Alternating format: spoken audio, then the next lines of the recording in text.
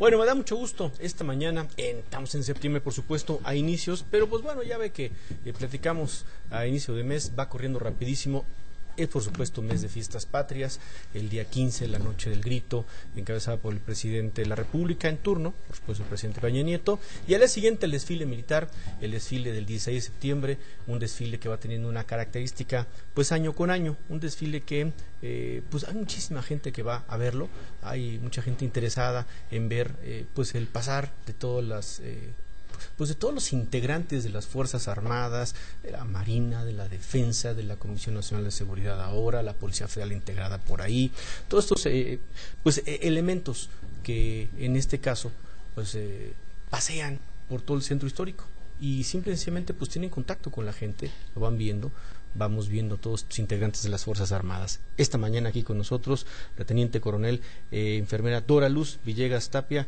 Teniente, bienvenida. ¿Qué tal? Muy buenos días. Debo decir teniente o teniente coronel, ¿qué es lo más correcto? Teniente, teniente coronel. Órale, sí, sí, sí, no vaya a ser que me arreste, ¿no? que voy a ganar. Bienvenida, teniente coronel. Y está también días. el coronel de la Fuerza Aérea, piloto aviador, diplomado de Estado Mayor Aéreo, Francisco Castillo Hernández. Bienvenido. Muchas gracias y agradecemos por, la, la, invitación que nos hacen al foro, este Manuel, este Miriam. Muchas gracias a su auditorio. Pues muchas gracias, primero que nada, a la Secretaría de Defensa Nacional por permitir que eh, dos de sus integrantes vengan aquí esta mañana a platicar fundamentalmente por qué, por qué hay una particularidad del, del desfile del 16 de septiembre, porque está dedicado al centenario de la Constitución. ¿Quién empieza? Así es, bueno, Teniente septiembre, coronel. gracias, muchas gracias. Gracias a todo el auditorio que nos está viendo el día de hoy. Septiembre para el Ejército, Fuerza Aérea, para las Fuerzas Armadas es un mes muy importante. Uh -huh. Es un mes que nos permite el tener contacto con la gente para la cual estamos, para la cual servimos y es un mes muy emocionante para nosotros. Tenemos un mes preparándonos precisamente para salir a las calles el día 16 de septiembre y estar demostrando todo lo que hemos hecho por ustedes, todo nuestro adiestramiento, nuestras capacidades y por supuesto en este año en especial celebrando el centenario de nuestra Constitución. Coronel Castillo. El, en, este, en este año el, la columna del desfile se organizó atendiendo a las cinco misiones eh, generales que tiene el Ejército y Fuerza Aérea Mexicanos, las cuales están establecidas, establecidas en nuestra ley orgánica. Esta deriva de la Constitución Política de los Estados Unidos Mexicanos. Eh, unas, los agrupamientos que vamos a ver a lo largo del desfile uh -huh. están organizados atendiendo a estas misiones, como lo acabo de mencionar. tenemos un agrupamiento Constitución, que precisamente atendiendo a los 100 años de la promulgación de nuestra Constitución, viene en, en, en vehículos, escenificaciones de la Constitución de 1824, 1857 y precisamente la de 1917 que, que, que, con la que actualmente nos regimos todos los mexicanos. Es Va a haber lo, una... lo, primero que vamos a ver. Así es, es el primer agrupamiento que, que viene a, a la cabeza del desfile. ¿Y luego? Posteriormente eh, tendremos algún agrupamiento de seguridad interior, eh, el, el, segundo agrupamiento sería el, el, de defensa exterior. Posteriormente viene el de el apoyo a la población civil. El otro agrupamiento es de acciones cívicas. Tendremos ya aquí eh, otro agrupamiento donde viene inserto todo el, sistema educativo militar y un agrupamiento montado. En, en este agrupamiento tenemos la participación eh, de personal de la Armada de México, de la Policía Federal, y del personal del Ejército y Fuerza Aérea Mexicanos. ¿Cuánto tiempo, eh, Teniente Coronel Villegas, se toman para hacer eh, el preparativo de un desfile? Alguien pensará, pues es tradicional, debe estar fácil, se hace cada año. ¿Cuánto tiempo les toma prepararlo? Bueno, el adiestramiento de todas las tropas es permanente, estamos en adiestramiento permanente. Exclusivamente para el desfile, como lo mencionaba mi coronel, para el, formar estos agrupamientos específicos con un mes de anticipación, las tropas se reúnen, porque no es en unidades orgánicas, sino comparten con algunas otras unidades.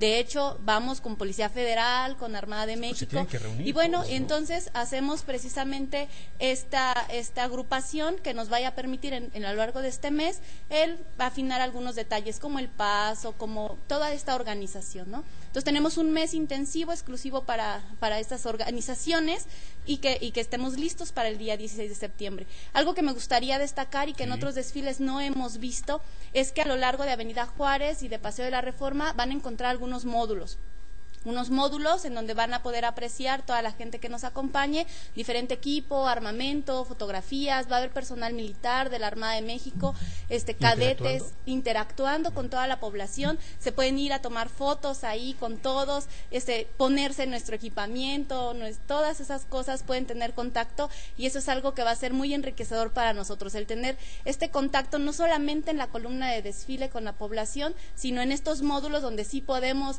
este, posar para la foto, pueden platicar con, con la gente que esté ahí, todas las dudas que tengan, para qué sirve esto, qué es lo que hacen. Bueno, a lo largo de Avenida Juárez y Paseo de la Reforma van a estar estos módulos. Teniente Coronel, pero los módulos, ¿a qué hora más o menos eh, van a empezar a operar? ¿Desde que da inicio el desfile o al término? Porque hemos visto que en la Plaza de la Constitución al final, bueno, se daba esto en donde bajaban algunos helicópteros, eh, eh, subían algunas de las unidades y la gente se sacaba fotografías ahí, pero hasta el término. ¿Esto va a ser durante el desfile? Durante el desfile ya van a estar ahí los módulos. A lo largo del desfile pueden estar interactuando con el personal que se encuentre ahí. Desde las 10 de la mañana van a estar instalados los módulos y se van a retirar más o menos unos 30, 40 minutos posterior a la culminación del desfile.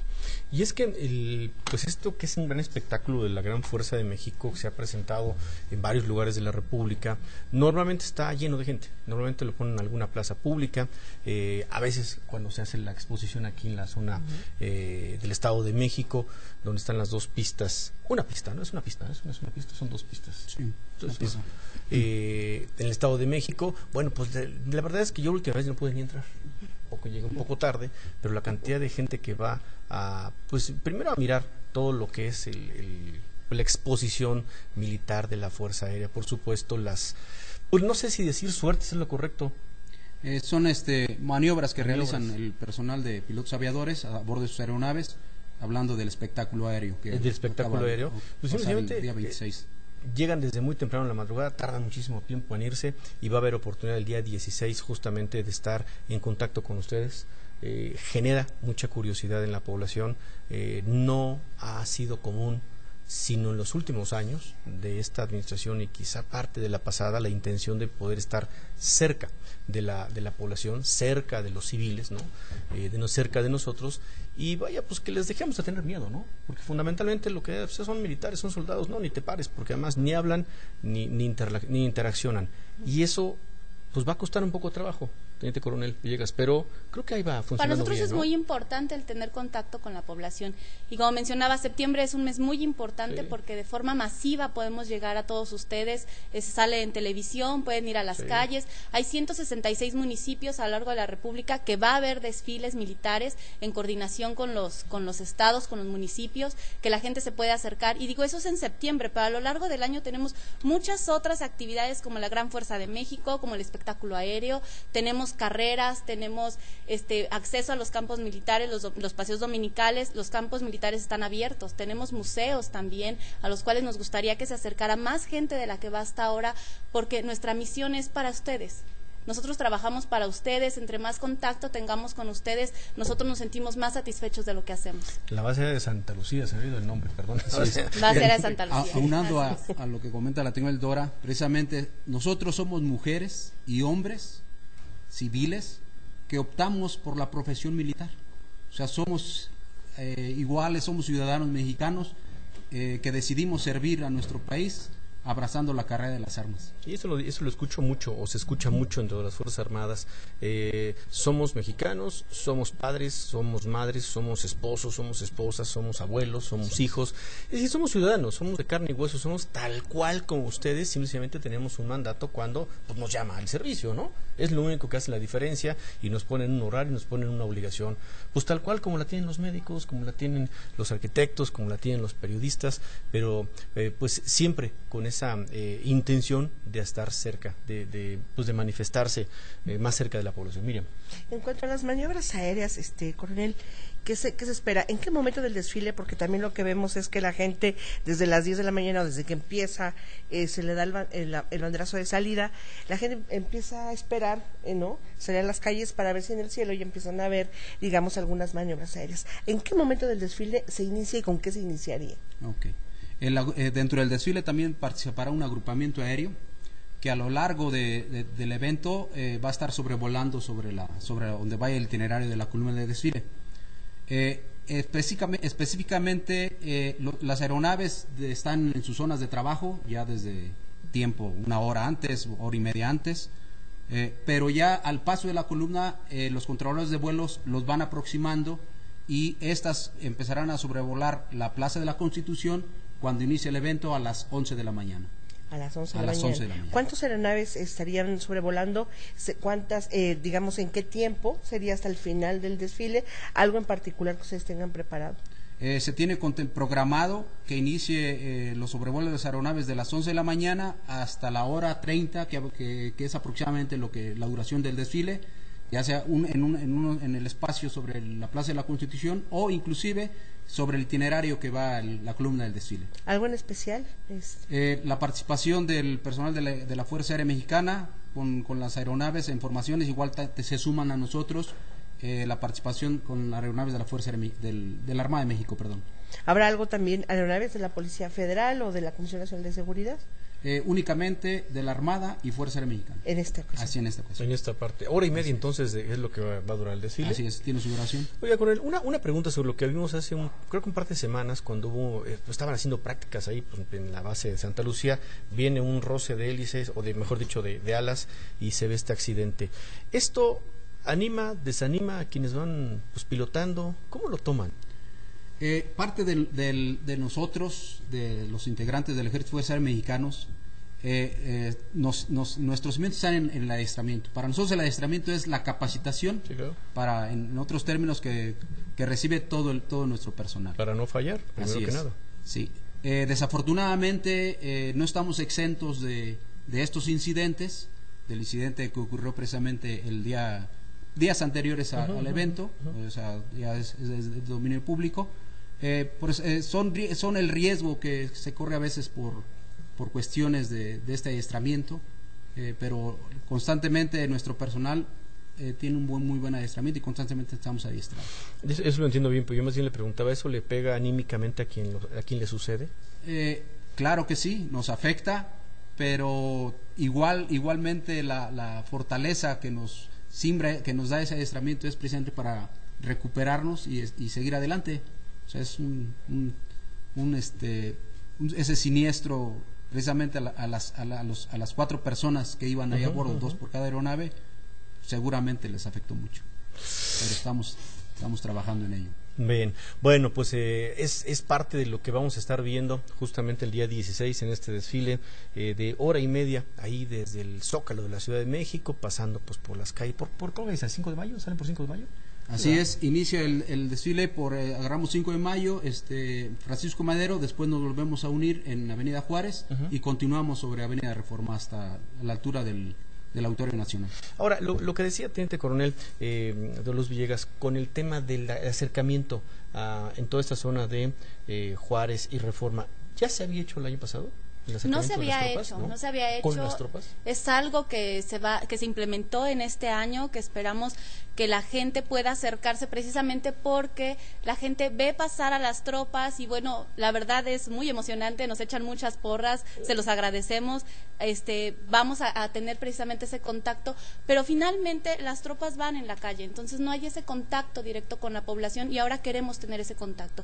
Queremos que nos pregunten, queremos que toquen, que vean. O sea, que no les den pena, les den pena. Exacto, se puede. Exacto, que, nos relacionemos más, directamente. por más serias que marchen, se les pueden acercar? sí, porque es que eso también luego impone, ¿no? Luego eso es lo que marca una, una cierta distancia de la gente, ¿no? Dice, no, ¿qué tal que no me contesta? Que les pregunten. Claro, que, que se acerquen, que pregunten, digo, que, que toquen lo que usamos, que nos pregunten para qué sirve, quiénes somos, de dónde venimos, bueno, que se den cuenta que exactamente somos del pueblo, servimos al pueblo, estamos orgullosos de, nuestra, de nuestro México y que ejército, fuerza aérea, el pueblo, somos la gran fuerza de México. Vamos a una pausa y regresamos para terminar esta charla, esta invitación. Además va a ser buen día, sábado, ¿no? Sábado 16 de, de, septiembre. Pues va a ser un buen momento también para que, digo, ojalá la gente que sea suficiente el aforo, pues es la calle, es, la parte pública y no se puede eh, pues, regular demasiado el acceso como si en el Zócalo, por ejemplo, pero pues sí en la zona de, Juárez, de Reforma, pues ojalá toda la gente que vaya pueda no solo mirar, eh, pasar a todos los contingentes que van a participar en este desfile, sino que se animen a hacer alguna plática, alguna fotografía.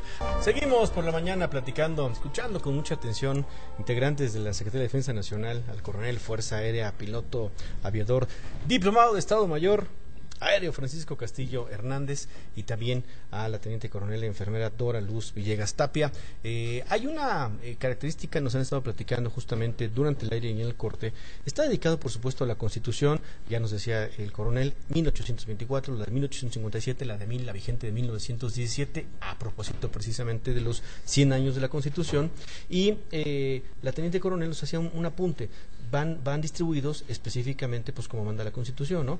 Eh, viene el, agrupamiento de seguridad interior, seguridad exterior, apoyo a la población y apoyo a actividades cívicas. Así es, hay acciones cívicas, a favor de la población y en este muy particular. claro en este agrupamiento van a pasar este un turibús van a ustedes ver un turibús la secretaria de defensa nacional tiene un programa que se llama soldado distinguido y en este programa este participan niños con alguna enfermedad terminal que su sueño es ser soldado o pertenecer a las Fuerzas Armadas. Entonces se hace una ceremonia muy solemne en la región o zona que corresponda y se les impone su uniforme y se les hace el soldado honorario se les da un recorrido por las instalaciones y él queda como nuestro soldado honorario, ¿no?